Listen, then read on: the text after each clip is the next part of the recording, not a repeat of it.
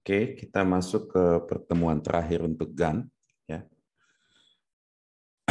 Kalau kalian nanti masuk ke papers with code, uh, mostly setiap use case yang kalian lihat di sini uh, pasti udah banyak mengenai generation ya, kayak text generation, image generation, bahkan untuk kasus seperti clustering, uh, anomaly detection atau recommendation system, semua pasti combine multi strategi generative modeling, ada yang discriminative modeling. Jadi sulit sekali sekarang kalau kita handle satu masalah hanya dari diskriminatif model. Karena keterbatasan diskriminatif model dan juga pengaruh karena kadang-kadang datanya itu imbalance, datanya nggak cukup, sehingga Oke, okay.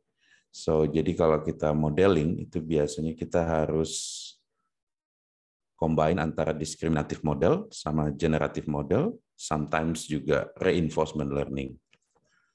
Biasanya untuk case yang recommendation system misalnya, untuk case yang kita anggap sederhana, misalnya kayak recommendation system, kalau lihat di uh, apa di state of the art-nya,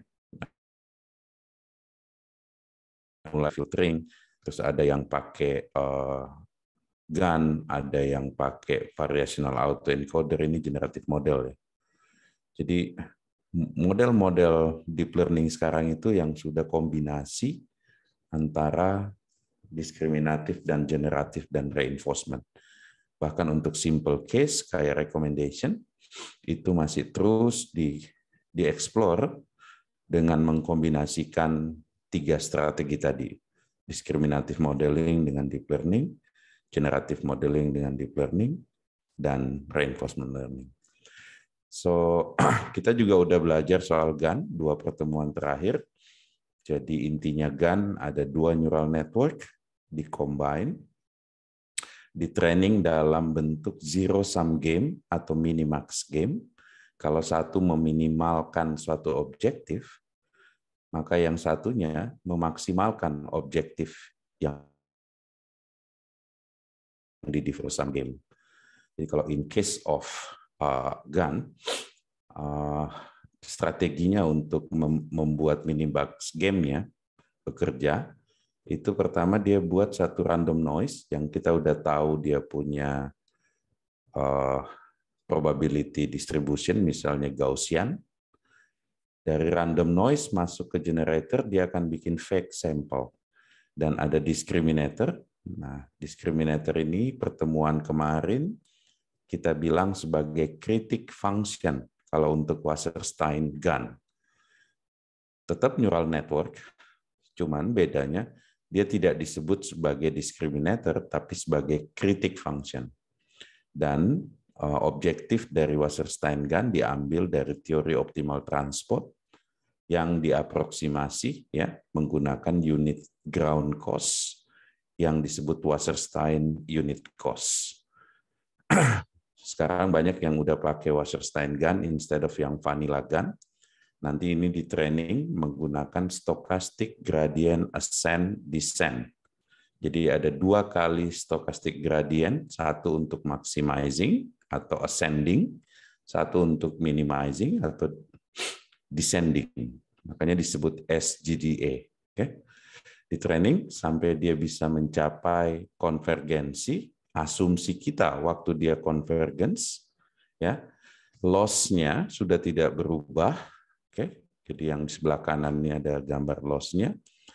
Uh, yang satu udah minimal, yang satu udah maksimal karena dia stochastic gradient ascent descent. nah, yang banyak problem di GAN adalah karena dulu GAN pakai KL divergence sama Jensen-Shannon divergence, yang sekarang kita udah tahu bahwa Wasserstein distance atau Wasserstein divergence itu lebih baik dibanding yang KL atau JS. Oke. Nah, kalau lihat di algoritma GAN, uh, stopping kriteria kapan kita stop training itu sebenarnya kalau lihat di algoritma yang kalian pelajari minggu lalu, itu tidak ada stopping kriteria. Maksudnya if uh, bla bla bla dan stop training itu nggak ada. Jadi kita harus selalu monitor hasil generationnya apakah udah make sense atau enggak. Nah masalahnya waktu kita monitor kata make sense tadi itu sangat ambigu ya, sangat tidak saintifik ya. Jadi kita butuh metrik untuk uh, menjelaskan apakah hasil generasi atau hasil pembuatan data sampel dari GAN itu itu sudah bagus atau enggak. Nah, itu harus didefine secara saintifik. Nah, itu yang akan kita pelajari hari ini. Kita akan belajar tentang GAN evaluation method, karena GAN ini adalah unsupervised learning, kadang-kadang juga bisa dibilang sebagai semi-supervised learning, karena kita nggak butuh label di GAN, kita butuh data set. ya. Nah, GAN evaluation untuk unsupervised case itu pasti problematik gitu ya. Jadi eh, kita akan belajar apa sih problemnya, terus apa common teknik untuk evaluate guns dan bagaimana cara bacanya. Eh, ada dua metrik yang akan kita pelajari yaitu inception score dan Freset inception distance. Oke. Nanti ada contoh code-nya, kalian bisa lihat di Git Eh, mengenai implementasi IS dan FID. Oke, kenapa evaluating hasil generation itu uh, very tricky gitu ya? Karena kalau misalnya kalian lihat gambar-gambar ini, uh, terus lihat apakah hasilnya sudah sangat ambigu sehingga mungkin buat satu orang wah ini jelek hasil generationnya. Buat orang lain mungkin uh, bagus gitu ya. Jadi menentukan metrik apa yang dipakai untuk mengevaluate itu pasti uh, akan banyak sekali debat di situ ya. Jadi different metric biasanya akan lead to different trade-off. Dan juga setiap evaluasi, misalnya saya pengen lihat evaluasinya itu apakah eh, gambar yang dihasilkan benar-benar realistik atau evaluasinya apakah hasil generasinya atau hasil pembuatan datanya itu diverse atau beragam gitu ya. Jadi itu udah different favor ya. Satu mengenai realistik, satu mengenai uh, diversity, ya kan? So itu harus ada standarnya Unfortunately tidak sempurna standarnya sampai sekarang. Tapi kita sudah agree biasanya kalau di papers, di academic research itu pakai IS dan FID sebagai common method untuk kita evaluate hasil GAN, compare hasil satu GAN dengan GAN yang lain. Oke, jadi pada saat kita mengevaluate pasti kita akan punya fokus apa yang mau kita evaluate, misalnya kayak density estimation kah, atau sampling atau generationnya atau latent representation-nya misalnya kayak kalau saya pakai Gaussian compare to distribusi laten yang lain mana yang lebih bagus gitu ya. Ataukah uh, udah lebih dari satu task misalnya untuk semi supervised atau image translation uh, semi supervised learning dan image translation itu pasti beda-beda uh, fokusnya gitu ya. Jadi memang agak kompleks untuk kita mengevaluasi sesuatu yang kita generate. Beda dengan classification atau supervised learning, karena saya punya ground truth-nya, bahwa saya punya label yang benarnya. Kalau di supervised, unsupervised learning, seperti generative model, itu memang problem yang sangat-sangat besar. gitu ya. So, misalnya kita ambil image generation, ya pasti kalau kita generate satu image, visual quality-nya mungkin kita bisa manually inspect. Jadi saya bisa lihat gambarnya ini udah mirip selebriti nggak ya? Atau ini udah bagus nggak ya? Oke. Nah, tapi manual inspection itu pasti nggak cukup karena manusia itu sangat bias gitu ya. Jadi GAN itu biasanya step pertama waktu kita training modelnya, kita manual inspection kalau foto selebriti sih gampang kita bilang ini udah real apa enggak gitu ya. Tapi gimana kalau saya generate uh, misalnya pola genomik atau pola virus ya. Uh, itu beda dengan saya generate visual atau teks karena saya bisa evaluate manual inspection. Nah, di saat virus dan genomik kita nggak mungkin bisa. Uh, jadi kita harus benar-benar pakai fungsi yang sistematik ya uh, yang bisa kita pakai untuk evaluasi. Dan di saat kita udah ngomong sistematik, pasti akan balik ke statistik atau probability atau information theory. Nggak ada cara lain secara saintifik kita jelasin samples, hasil sampel selain statistik atau information theory atau probability gitu ya. Ternyata dari teori ini ah, ada dua yang mungkin bisa dibantu oleh statistik dan information theory, yaitu mengenai silency dan diversity. Silency itu bisa mendetek objek apa yang digenerate ya. Jadi misalnya kita punya uh, satu kelas ya uh, atau satu distribusi, probability distribusi yang menghasilkan satu image, ya kan? Nah, distribusi itu pasti kita bilang kalau image-nya itu sudah terstruktur, sudah bagus, dalam bahasa information theory kita sebut itu punya low entropy. Ya kan? Dan entropi itu pasti ada teknik pengukurannya dari sampel. Oke, sehingga kita bisa bilang bahwa kita akan nyari model yang punya low entropy dan uh, uh, kita lihat skornya. Nah, dengan begitu kita bisa mengukur silency. Bagaimana dengan diversity? Diversity itu seberapa beda atau seberapa bervariasinya atau beragamnya GAN bisa mengenerate objek. Oke. Okay? Nah, kita juga bisa uh, ngelihat dari information theory atau statistik. Kalau kata statistik ya semakin diverse ya semakin banyak kategori image yang dia keluarin. Dari information theory pasti ada bilang semakin diverse itu akan semakin tinggi entropinya. Ya. Kalau dia semakin silency itu semakin rendah entropinya. Kalau dia semakin uh, beragam yang dia generate itu tinggi entropinya. Dan ini juga banyak teknik-teknik dari teori information teori tersebut untuk mengukur entropi. Oke. Okay? So Coba lihat dua gambar ini. Misalnya ada set 1, set 2, anggap S1 dan S2. Anggap gambar-gambar di set 1 itu kita sebut X yang di-generate dari probability distribution P dan X di-generate oleh Q. Oke. Jadi di dalam GAN saya bisa generate image-nya.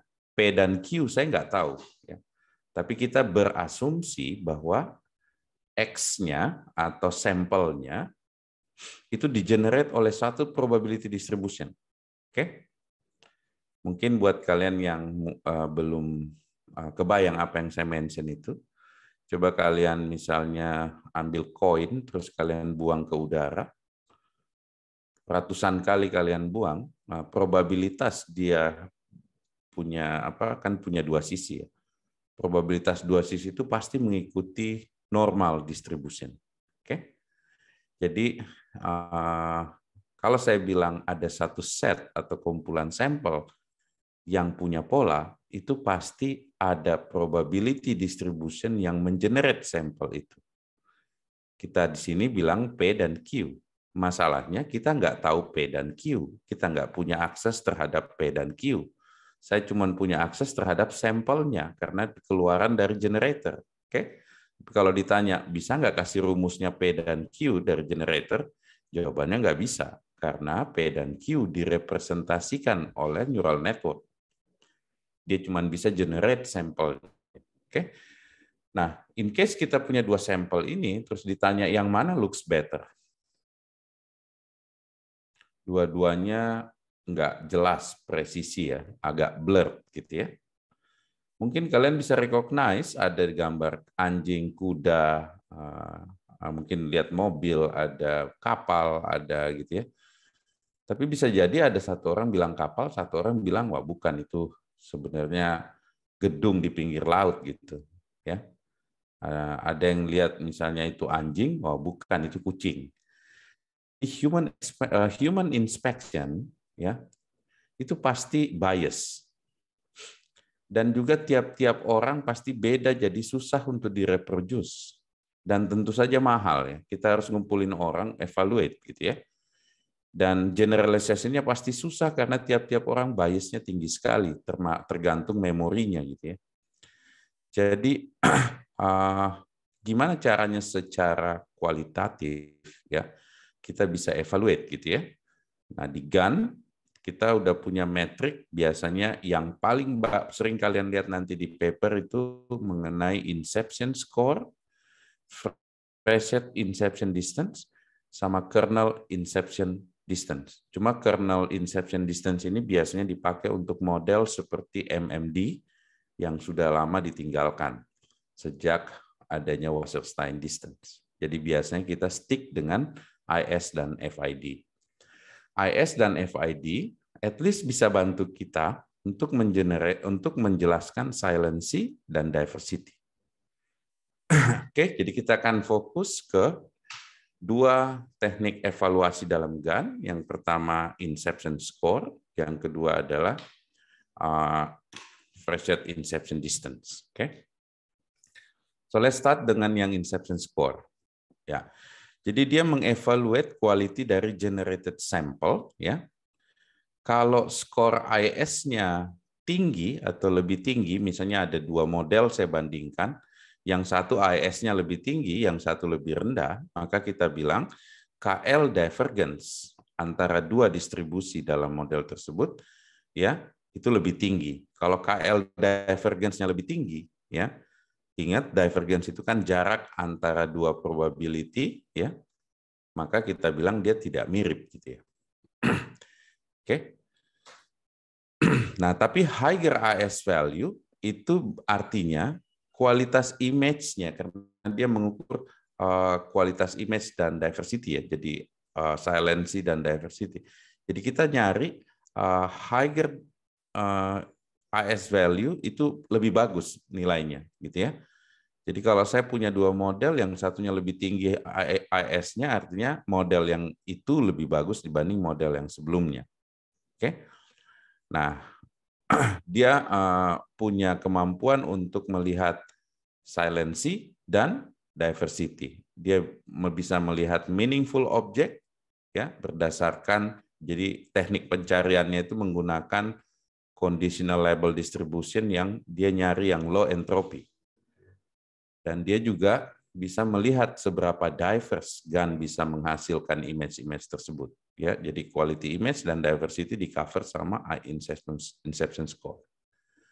Nah, FID itu sebenarnya dia improve ya, inception score dengan mengcompare statistik dari sampel yang ada terhadap real sampel.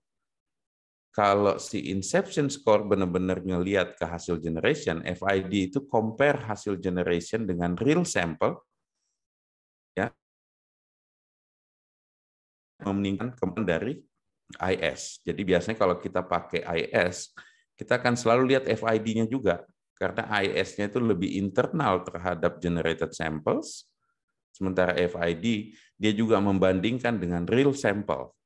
Oke. Nah, gimana kita evaluate FID? Kita cari yang FID-nya lebih rendah. Kalau yang IS, kita cari yang IS-nya lebih tinggi. Jadi kalau saya punya dua model, misalnya GAN yang versi 1 dan GAN versi 2, saya bandingkan, saya nyari IS yang lebih tinggi dan FID yang lebih rendah. Artinya apa? Kalau FID-nya lebih rendah, kualitas image-nya lebih baik di karena sudah di compare dengan real image dan diversity-nya lebih baik. Oke. Okay? So, definisinya pasti balik ke matematik ya. Kita nggak eh, kita nggak usah worry soal matematik. Ah, matematiknya sudah dikerjain oleh orang lain dan kita harus berterima kasih justru ya bahwa mereka udah nyariin formula yang memang based on information theory dan statistik dan bisa dipakai gitu. Jadi IS ini very intuitive tadi saya sebut bahwa dia berhubungan dengan KL divergence. Misalnya kalau kalian punya dua probability distribution atau dua sampel set ya, maka KL divergence itu menunjukkan seberapa jauh jarak antara dua probability distribution tersebut. Oke. Dia mengukur hilangnya informasi atau information loss ketika uh, distribusi tersebut digunakan. Oke, jadi dia by definition itu bisa ditulis sebagai expectation value dari dis, uh, divergensi KF antara uh, sampel X dan Y. Oke. Implementasinya straightforward, dia lihat dari sampelnya dan dia pakai expectation value, nanti ada contohnya, banyak library-nya, Ingat, deep learning biasanya sudah banyak library-nya. Yang perlu kalian ngerti adalah konsepnya. Ya. Pada saat mengevaluasi, pasti udah ada library yang kita panggil. FID, nah, waktu kita belajar convolution neural net, kita waktu itu belajar ada yang namanya inception network, waktu belajar di ResNet kalau nggak salah. Nah, FID ini biasanya untuk image ya. Jadi dia pakai inception network untuk mengekstrak features di setiap layer neural network.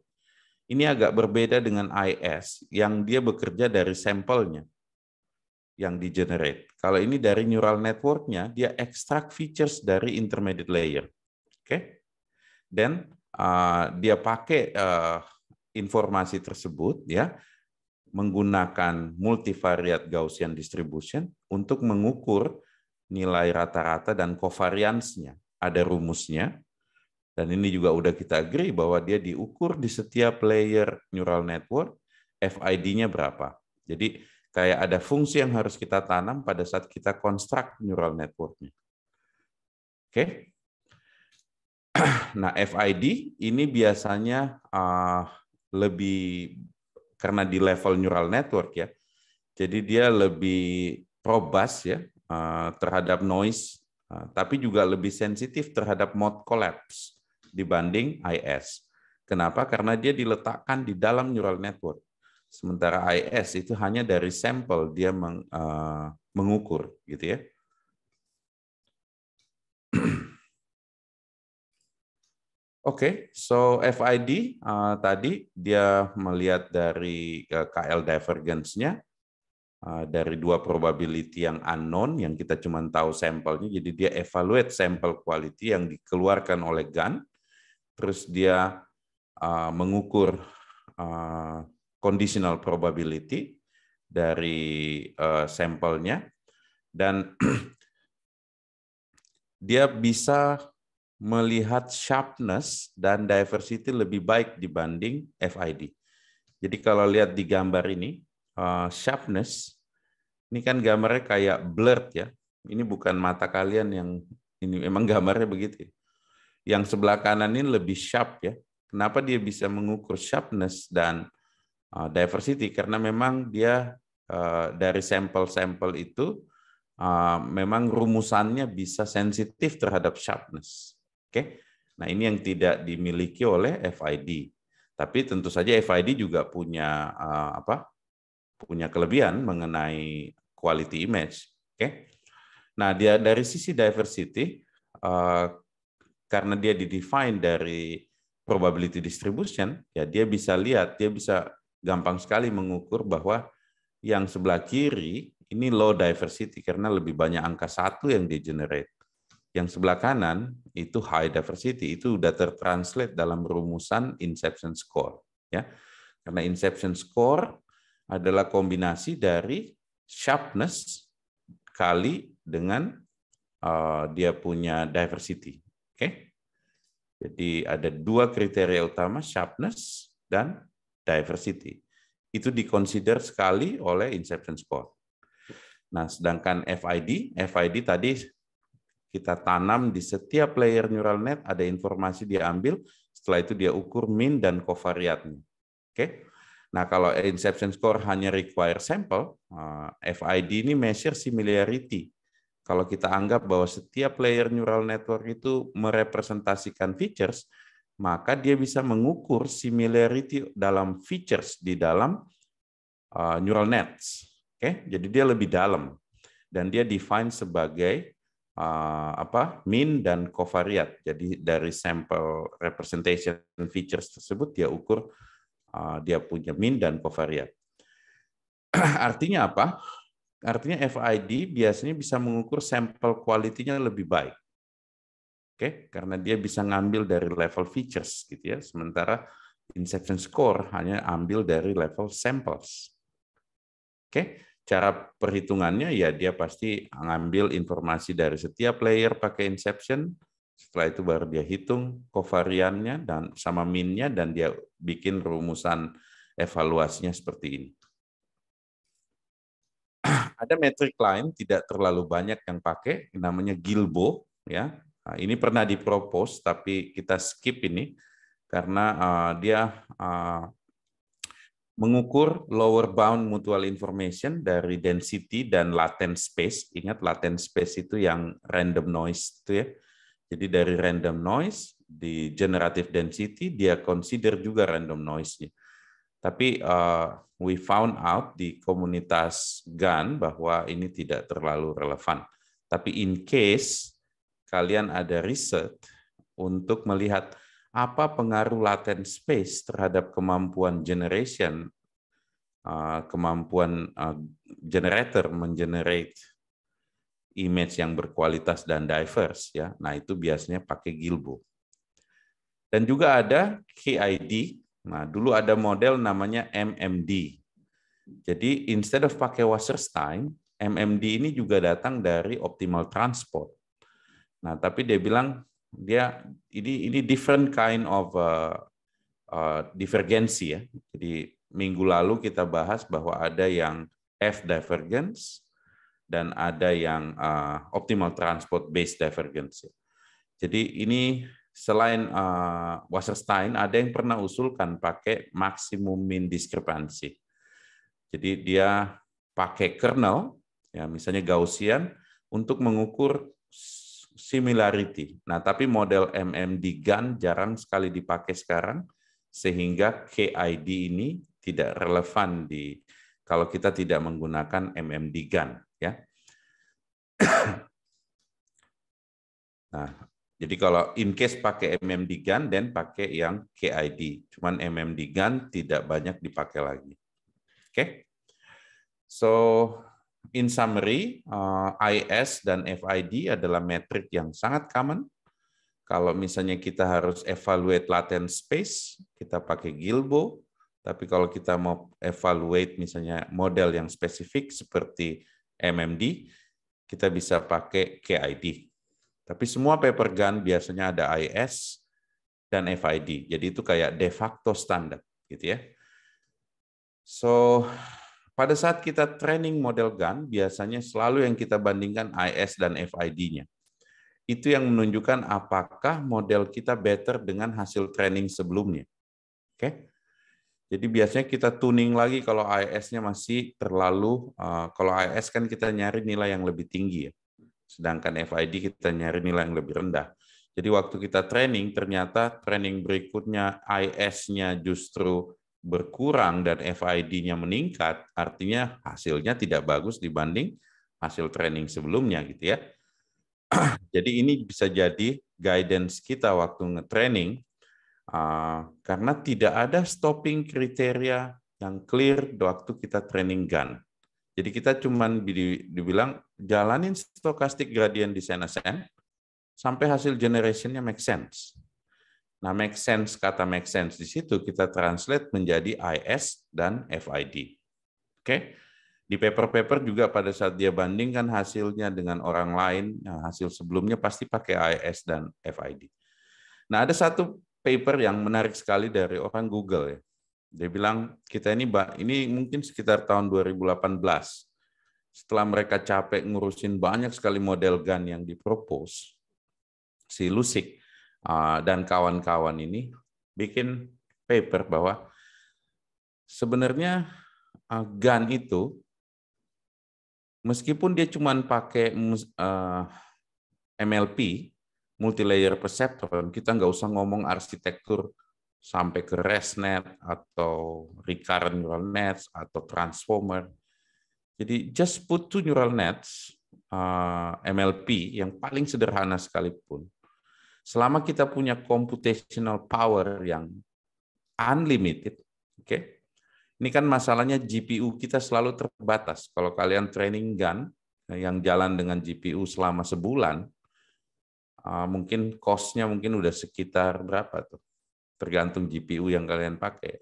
Tapi it's about mungkin 10,000 US dollar uh, per model. Nah, waktu kita modeling ternyata saya punya ada 10 model yang saya like compare. 10,000 US dollar kali 10 udah 100k. Oke. Okay? Uh, mahal sekali gitu. Sehingga kita selalu nyari cara kita optimize hyperparameter, neural network architecture kita otak-atik supaya trainingnya lebih efisien. Gitu ya. Tapi GAN at the core, ya selama kita punya unlimited computational power, dia bilang, harusnya bisa menghasilkan konvergensi yang sama. Nah ini yang menarik. Karena akan ada pertanyaan berikutnya, apakah memang benar bahwa konvergensi itu selalu terjamin? Gitu? Ternyata nggak juga. Ada gun yang benar-benar fail. Waktu di training pasti dia mode collapse atau dia vanishing gradient. Oke. Okay? Nah, tapi paper ini dia klaim bahwa sebenarnya sama. Cuman butuh computational power yang lebih besar uh, untuk mencapai konvergensi itu dan butuh teknik-teknik tambahan. Nah, ini yang membuka uh, matanya mata peneliti bahwa even untuk simple model yang kita pikir kita sudah mengerti, ternyata neural network masih membawa banyak sekali misteri. Oke. Mungkin satu saat nanti, beberapa tahun ke depan, ternyata uh, ada someone yang bikin misalnya another gun, yang ternyata lebih simple. Dan itu sudah terjadi sekarang. Dulu kita percaya sekali dengan convolution neural net, Ah, ternyata transformer dengan transformer kita bilang bahwa kita bisa outperform the best convolution neural net dengan vision transformer.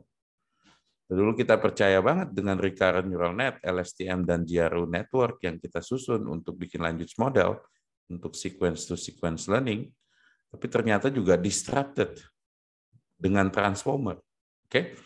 So perjalanan kita di AI itu baru start. Oke. Okay? dan akan terus berkembang ya sampai uh, kita buat kita punya model yang lebih uh, lebih stable, oke, okay? dan juga mungkin bisa belajar dengan data yang lebih kurang. Sekarang ini selama data kalian banyak ya neural networks ya, tapi data itu terlalu mahal, apalagi label, sehingga harusnya orang bekerja mencari cara gimana supaya neural network bisa bekerja dengan data yang lebih sedikit.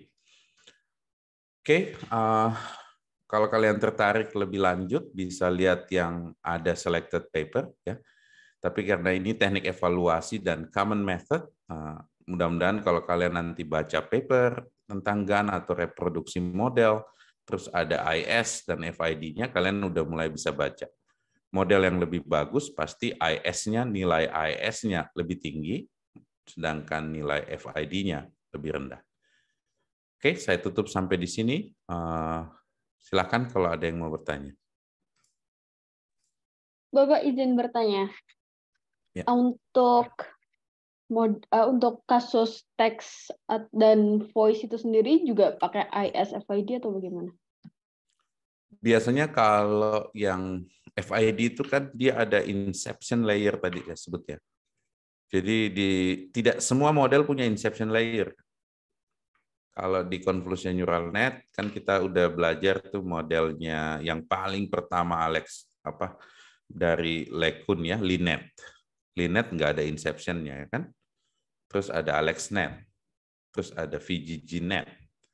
Terus ada apa? ResNet, ada DenseNet. Coba ingat yang pelajaran convolution neural net. Nah, kalau nggak salah, Inception itu diintroduce di VGGNet ya, setelah AlexNet itu, seingat saya. Nah, jadi kalau kita mau pakai FID, itu biasanya kita harus pasang inception. Uh, kalau neural networknya nggak punya inception, kita harus custom inception, gitu ya. Nah, kecuali dia model yang convolution, karena memang udah ada inception layer-nya gitu ya. Nah, kalau enggak, biasanya ada custom techniques untuk nanam inception di setiap networknya, baru bisa ukur FID-nya gitu ya. Jadi kalau untuk teks yang biasanya pakai recurrent neural nets, ya. itu kan nggak ada inception-nya ya. Hmm. Nah, itu biasanya lebih banyak dia pakai AES-nya aja. Tapi untuk computer vision, convolution neural net, biasanya dia keluarin FID-nya kalau nah, memang neural network generator dan discriminator-nya ada inception. Baik, Bapak. Terima kasih. Um, Bapak izin tanya, kalau ber, uh, sepemahaman Sinta yang Sinta tangkap berarti itu kan GAN itu kan yang diskriminatifnya pingin makin pinter si satunya lagi apa pak? Ah, generatifnya juga pingin makin pinter terus gitu kan pak. Nah itu berhentinya sepemahaman Sinta dari penjelasan bapak tuh sampai membentuk grafik pelana. Terus habis itu ini untuk evaluasi. Begitu bapak atau salah ya, konsep? ini untuk evaluasi benar.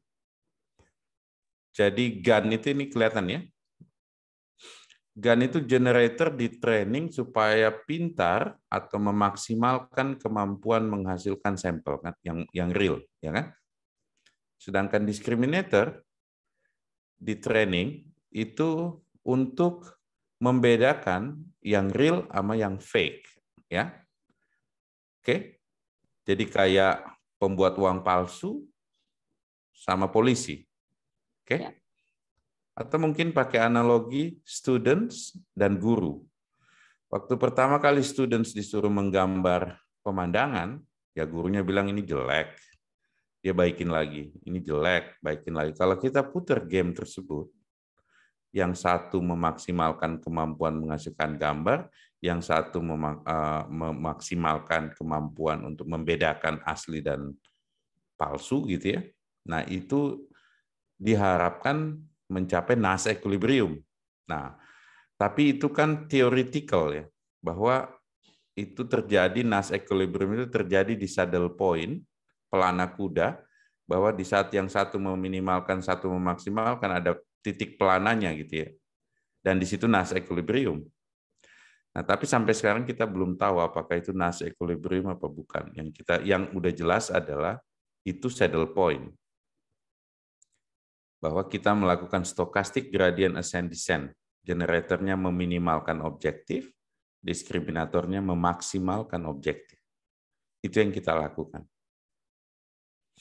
Oh, baik Bapak, dapat dimengerti. Terus Nah, kenapa kita butuh evaluasi? Karena ini kan unsupervised ya, nggak ada label untuk kita. Jadi evaluasi GAN pasti manual inspection plus some metrics. Metrics itu yang kita pelajari hari ini IS, dan FID.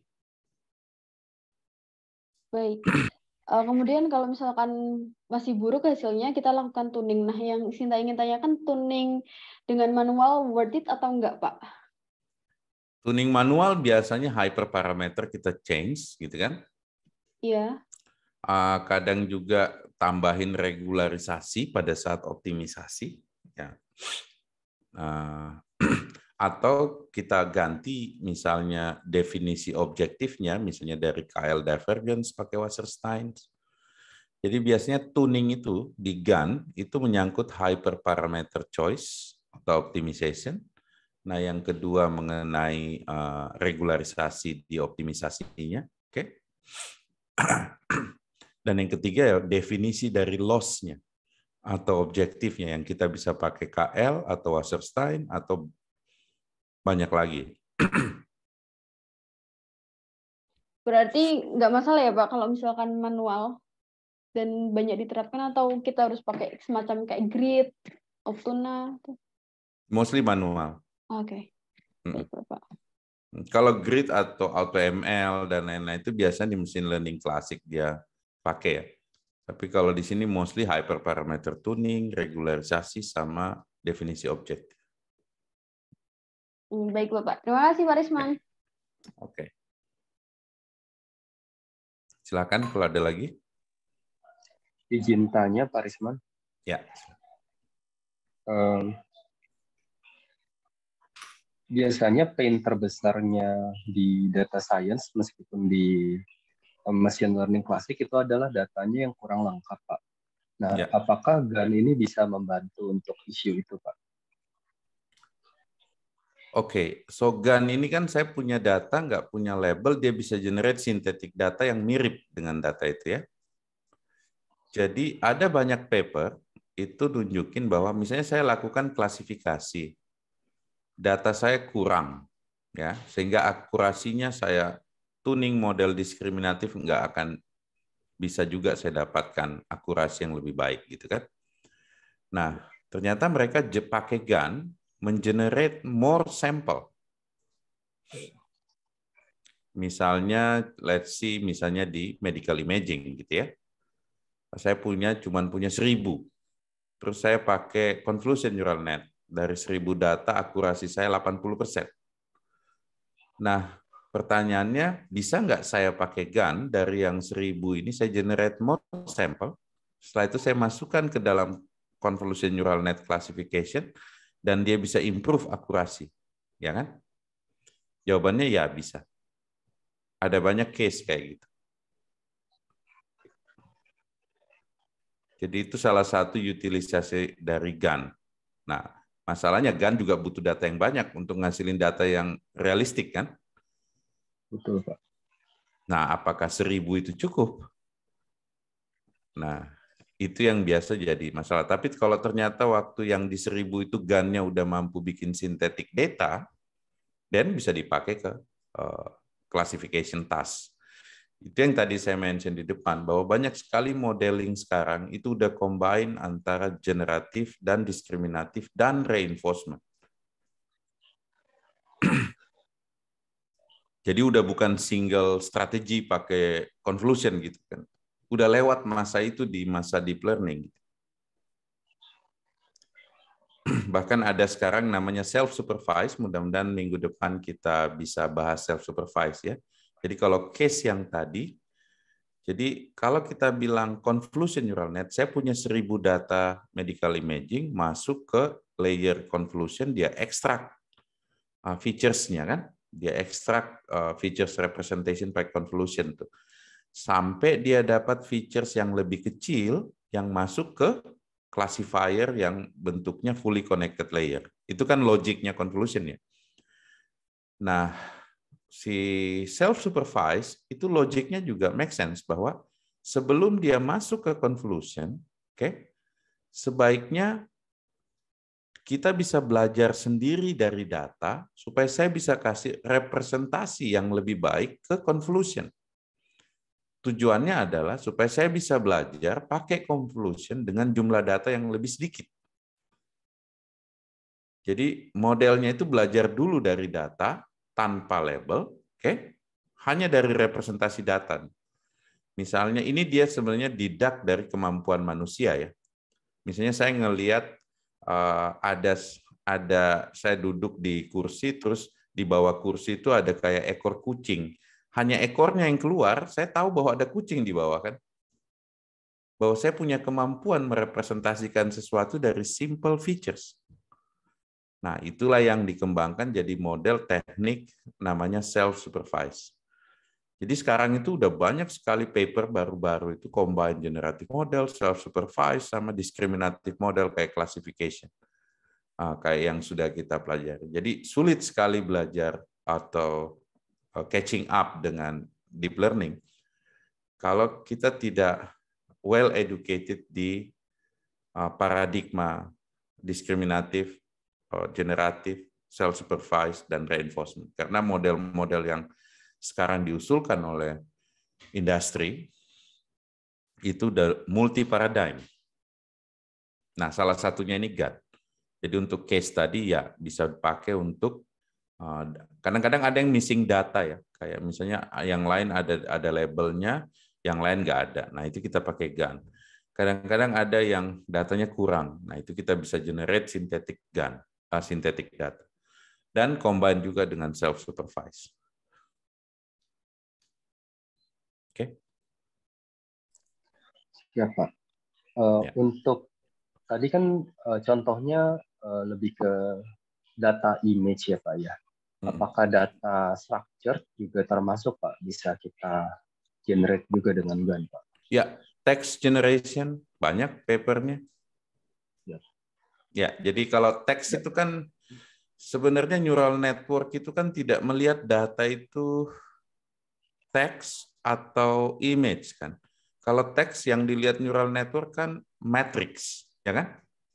Eh hmm. kalau image ya, matrix kan? Image, image. Iya. Ya.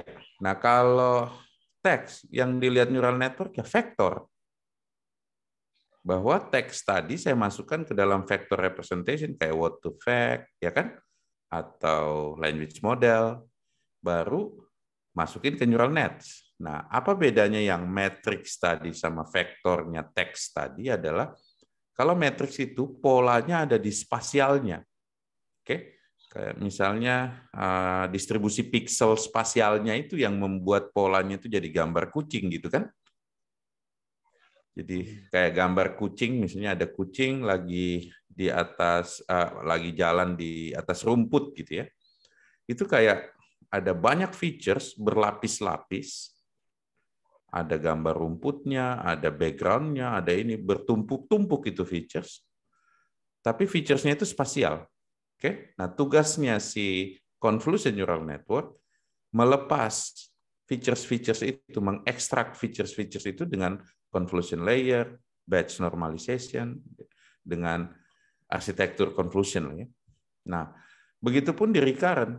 Kalau di recurrent, bedanya adalah dalam vektor itu, uh, polanya itu ada di sequence atau urutan. Satu titik dalam vektor itu merepresentasikan satu word misalnya gitu ya. Nah, urutan misalnya kalau saya pakai satu word, satu kata, kata terdekatnya apa pasti berdekatan tuh di dalam vector representation. Jadi polanya itu kalau di computer vision dia spasial, kalau di teks dia sekuensial. Nah, convolution neural net tidak didesain mengekstrak pola uh, tapi dia didesain untuk mengekstrak pola spasial. Sehingga masuklah recurrent neural net gitu ya. Uh, ada LSTM, GRU gitu. Nah, baru terakhir ini yang kita belajar apa ya, transformer ya dia punya paradigma berbeda bahwa dia nggak mau ngelihat itu sebagai sebagai spasial atau apa ya atau sekuensial. Dia ngelihat bahwa uh, ingat waktu belajar di itu kan ada Nats uh, Watson Narayadan principle ya. Waktu dia bilang bahwa kita bisa menganggap nih ada database kita bisa query ya kan? Ada key value yang kita bisa ekstrak dari data. Nah, itu kan basisnya transformer dan attention gitu ya. Jadi paradigma yang tadi di convolution sama di uh, recurrent neural net itu diubah sama transformer dan ternyata dia bisa perform juga. Oke. Okay? Siap Pak Risma. Ya. Terima kasih Pak.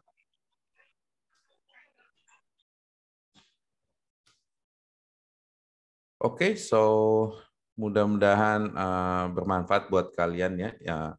At the end nanti pada saat real world kalian ngerjain case, pasti nyari what is the latest method. Apa problem yang kalian punya dat pasti balik ke datanya kurang. Ya kan? Dan pasti opsinya bukan cuma di satu paradigma. Jadi ada generative model, ada self supervised, eh, ada reinforcement kalau kita butuh feedback dari environment dan kita pakai reinforcement learning. Ah, misalnya untuk robotik, autonomous car, eh, atau ah, case-case yang even simple recommendation, itu kalau ternyata usernya nanti harus ngeklik lagi ada feedback dari user dan environment, problem recommendation jadi lebih besar dibanding kolaboratif filtering sederhana. Nah, nanti mudah-mudahan kita close dulu ini di self supervised, nanti kita akan belajar pelan-pelan tentang reinforcement learning setelah itu ngerti, uh, selebihnya AI work itu kayak look on the uh, latest state of the art, reproduce ya dengan data kita, code bukan masalah ya. code itu di mana-mana. Bahkan sekarang kalau orang nulis paper nggak ada code-nya, orang males bacanya. Jadi AI atau deep learning itu bukan programming task, tapi modeling task. Jadi harus dalam di konseptual modelingnya tadi. Dan kalau ada code, biasanya yang kita lakukan bukan nulis dari stretch, tapi lihat alur code-nya, reuse code-nya, improve. ya. Kadang ada yang pakai PyTorch, ada yang pakai TensorFlow, ada yang pakai keras. nggak nggak masalah itu sama-sama pas masalah Python aja sama library gitu ya. Uh, at the end nanti butuh GPU. Oke, okay? So mudah-mudahan uh, kita bisa selesaikan course yang ini minggu depan sampai di self supervised. Uh, berikutnya kita masuk ke reinforcement learning. Oke, okay, sampai ketemu minggu depan. Uh, saya stop sharing. Thank you. Terima kasih Pak Terima kasih banyak, semuanya. Pak.